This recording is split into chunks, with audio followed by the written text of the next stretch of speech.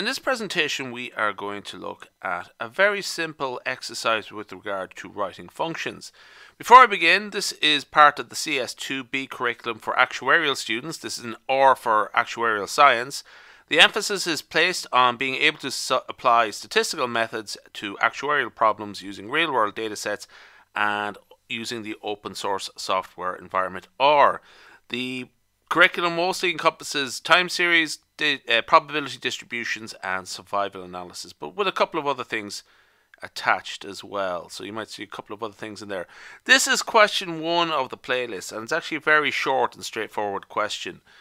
The logistic function can be defined by the function f of x equals 1 over 1 plus the exponential of minus x. So the two short questions create a function in R to calculate f of x and then the second question is create a plot of this function and evaluate it at values from x ranging from minus 10 to 10 at the appropriate x and y axis labels. Okay, so it's a straightforward enough one really. It gives up how to do it, you know, for 1 divided by 1 plus the exponential of minus x x. There's no trick to it at all. So essentially we just encompass that as a function and so we set up a function using function of x where x is the argument and this is the calculations. Okay, so we'll return that. Now really we actually can learn more about writing functions with x here but it's really, you know, we can wait until we get a more complicated example. So Logistic is the name of our function and the argument is x and that is what I have highlighted there is what will be returned. Okay, so let's try it out. What is the logistic function of 4? What happens when I apply x equal to 4 to this function? I get an, an answer of 0.982.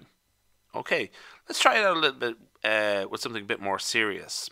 So we're told to get a sequence uh, from minus 10 to 10. Now I'm going to set up a sequence here called x and it goes from minus 10 to 10. I'm going to go in steps of 0.25 not to have it too overwhelming. But there we have it there. So this is what we get when we get the logistic of x. So minus 10 corresponds to a value of 0.0000454 whereas plus 10 will correspond to a value of 0.9999546. Now this is an interesting thing about the logistic function is that the range of possible values of the output is between 0 and 1. Okay, that's sort of the point of it. It will normalize and it will transform the any inputs into a value that is between 0 and 1. Okay. So let's plot it there. Plot logistic. The x limits are minus 10 to 10. So we're going to call it logistic function and we're going to label it with y equals 1 over 1 plus exponential of minus x. Okay, that's what we get there. You notice again that the range of values goes from 0 of the y values, the outputs, it climbs very rapidly between 5, minus 5 and 5. You notice that? And then once it gets to plus 5, x equals plus 5, the values of y, uh, y sort of stable around, stabilize around the 1 level equals 1. Okay. So it sort of has a sigmoid shape to it, which is actually what the, how we would describe this function.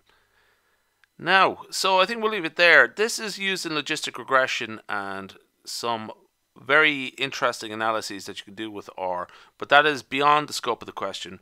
Really, what we were asked to do there is just write this function, and that's what we've done. So we'll move on.